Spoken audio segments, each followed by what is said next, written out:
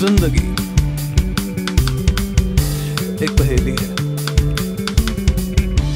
इसमें जितना घुसोगे, उतना उलझोगे। रास्ते हैं कई, आपको चुनना है सही। तो बस छोला उठाओ। और निकल जाओ